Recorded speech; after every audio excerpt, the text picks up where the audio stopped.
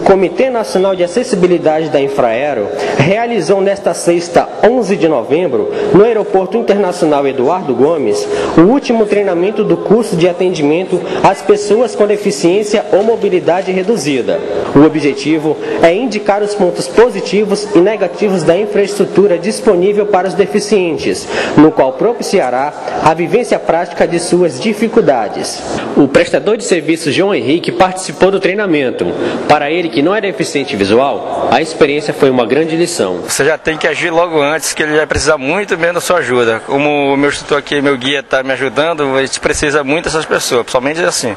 Valdecir Albuquerque fala da importância sobre o atendimento aos deficientes físicos.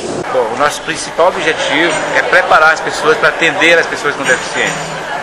Afinal de contas, são pessoas que merecem todo o nosso respeito. São pessoas que têm, possuem apenas limitação.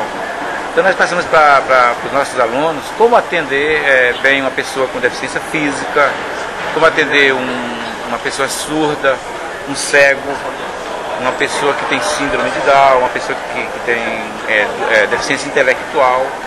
Então todos os nossos alunos estão preparados para atender desde já todo esse tipo de pessoas. O curso contou com a participação de 120 profissionais, entre funcionários da Infraero e das empresas que atuam no aeroporto.